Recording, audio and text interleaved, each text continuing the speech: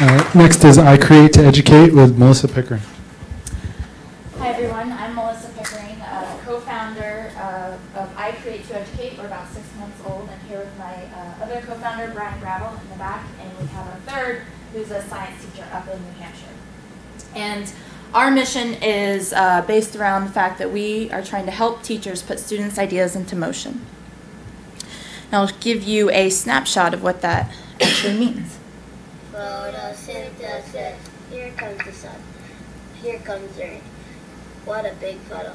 The carbon dioxide is going into the leaf. Here comes the sun. It's covering the cloud. Here comes the minerals. Oxygen is coming out of the leaf. The rain is going in. So it gives you a quick, quick snapshot of the result of our work and that students are able to uh, creatively take what it is they know and uh, through tools that are developed in a university setting, um, explain a scientific concept.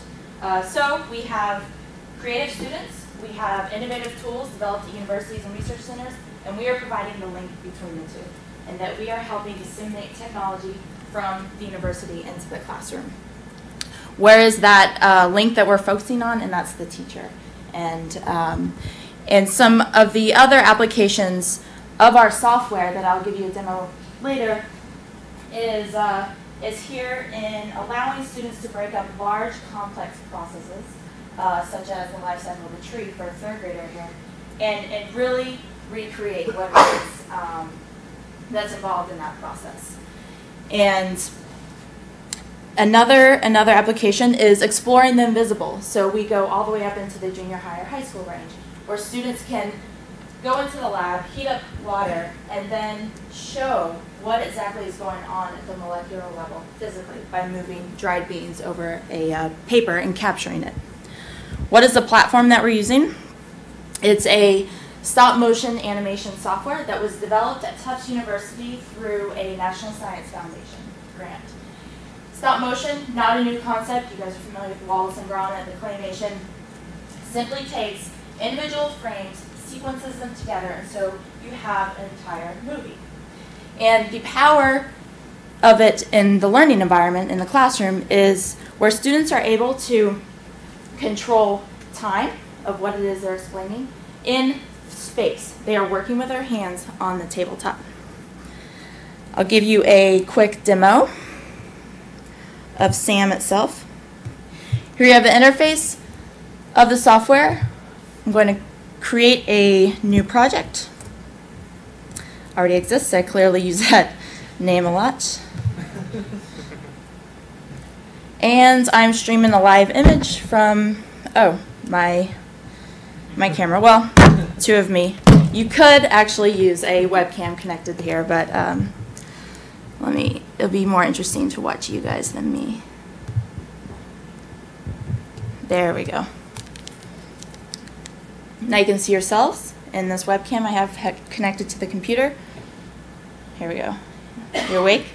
Um, it's a little blurry.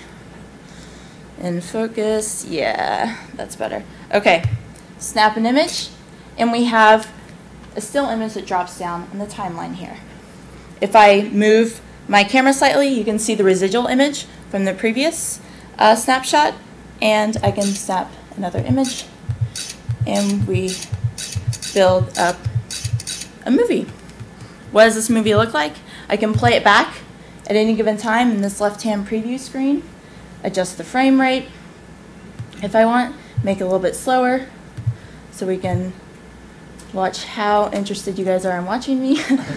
um, we can record audio, uh, manipulate frames if we want to copy one. Um, very simple, basic user-friendly interface where you can see something like this in a K-12 classroom environment is a powerful learning tool.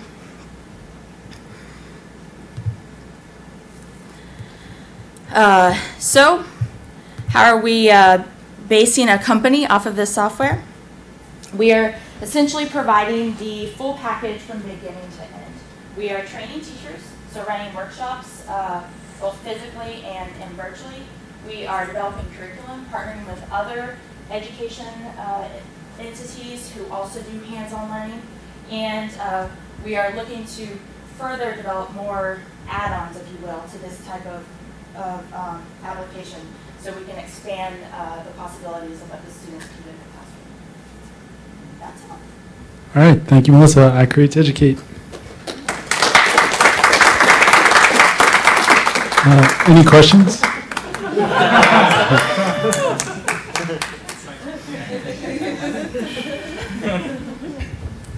Hi, uh, who are your clients? Uh, clients are schools and teachers. And uh, any particular school districts? Um, we are focusing right now on the public school districts in the New England area because we have a lot of uh, uh, groundwork with them already through the development of the, the software itself. We hope to expand to charter school districts and expand to other schools um, across the across the country. Um, we also are looking at international schools. Um, we actually are starting a partnership with the science uh, Singapore the Singapore Science Center and uh, starting to train some teachers out there actually in March, um, where hopefully they can they can um, infiltrate the school systems over there.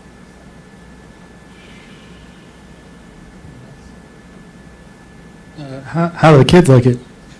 Um, obviously, they love uh, being able to create an animation where they can do a moving cow. That's, that's fantastic. No, they're they're very engaged because um, one, they're building a movie. Who doesn't want to make a really cool movie? So they're inherently excited. They want to do a good job um, because it's a cool final product. And and then at the same time, they're typically working with one or two partners.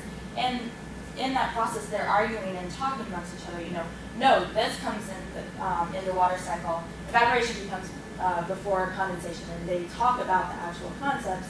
Um, and that's where the learning occurs, and they're excited about it because again, they um, they want to do a good job.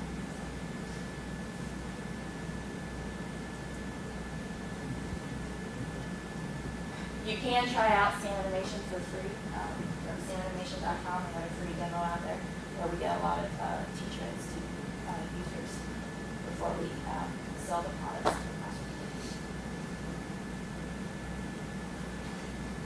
classroom. Uh, do you have any uh, VC funding or angel funding? We do not right now. We're uh, family and friend funding. Uh, we did uh, just get accepted into an incubator program by Kauffman Foundation. So that begins mid-February and runs to the end of June. Um, and we'll be in sort of back and forth between Kansas City and, and Boston. Um, so that we're looking to really help us get to the next level. Are you looking at other potential applications for the software other than schools? We have actually thought of it as a, um, a tool in corporations where they could use it as um, sort of strategic planning or brainstorming. You know, we everyone let's get in the room and have something fun to brainstorm where new directions will go. Um, just because it's very hands-on and, and fun and engaging. Um, but we haven't really touched that area yet because of just pure bandwidth. And how many people are you? Uh, you said three. There's three of us, um, and we have a number of interns at any given time. In, in startup fashion. And uh, you're co-working uh, at a co-working space in Cambridge? Um, Is that right? No, we're actually at the Mass Challenge space. So, um, after the competition ended, I heard through the grapevine that, um, Ron, that the competition started, could get involved, and actually contacted these guys, Abroad 101, and, uh, they helped me, uh, get connected to the performance space. So, we're uh, going one Marina Park drive right now, at least for June, when the next, when all the startups. So. All right, any more questions? We might have to. All right, thank you. I create to educate. what this is.